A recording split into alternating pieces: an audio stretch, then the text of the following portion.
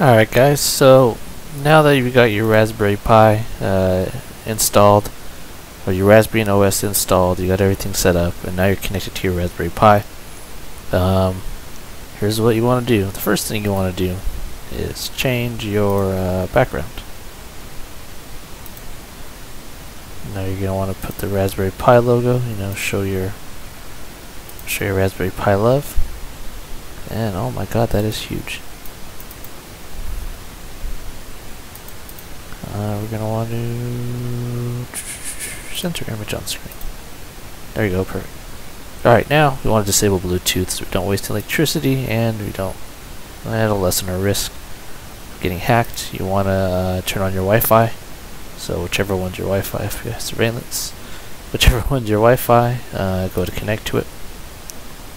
After you got that set up, uh, the next thing you want to do is go to your preferences, mouse and keyboard settings, uh, you know, you can adjust this, make your mouse faster if you want it.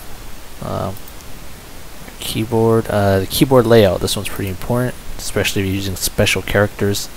Um, set it to where you're where you're from.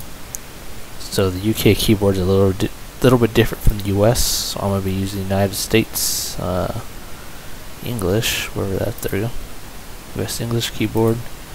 Test out your at symbols. Test out all your special characters. Um, that's good. Good, good, good. Because before, my special characters didn't work until I did this. So that's pretty important, especially when you're making passwords. So do that. Um, once that's good, press OK. And what else we got? Now you can play Minecraft if you want. That's Minecraft.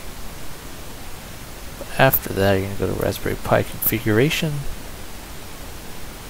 Um, now, here uh, is probably what you want to do to add more uh, security to your Raspberry Pi. You want to change your host name and you want to change your password. So you type in the password, whatever it is, blah blah blah, press OK. And uh, that's what you're going to use. And um, auto login, you will not, you want to turn that off uh, from now on.